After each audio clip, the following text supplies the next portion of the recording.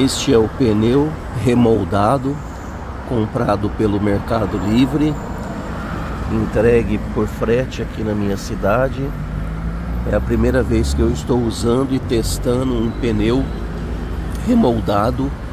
O objetivo é percorrer 400 quilômetros de estrada de terra, maioria areia, ou se chover um pouquinho de barro leve, porque nós estamos na época da seca na BR-319.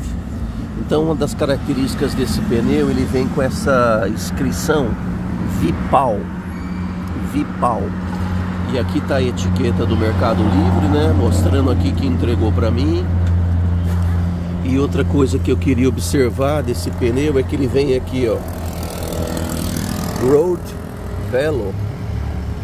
Então ele é todo é, a, a, lateral também ela é toda remoldada. Vem obrigatoriamente com a inscrição remoldada. A dimensão do pneu que eu vou estudar, que eu vou utilizar 225 né, de largura de banda, 65 de altura de relação e eu vou testar numa roda raio 17 que eu também comprei especificamente para esse experimento porque o pneu original do meu carro, do meu Lexus RX 350, não é raio 17, é raio 18. E nós vamos ver até hoje, observar se vai dar certo, né?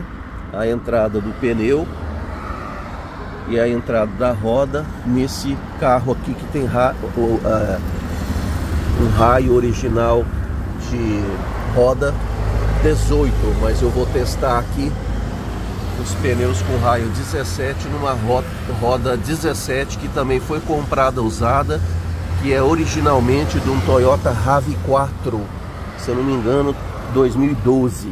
As rodas estão aqui embaixo também, que o objetivo é colocar essas rodas no, na, no eixo da frente, na parte da frente do automóvel, que é esse aqui elas estão com dois pneus originais, dois pneus Michelin, a roda é raio 18 e o pneu tem uma relação de 55. Então o objetivo é subir essa relação para 65. Para isso eu vou precisar de um raio 17, porque as pinças, essa parte de freio, ela é muito apertada no automóvel.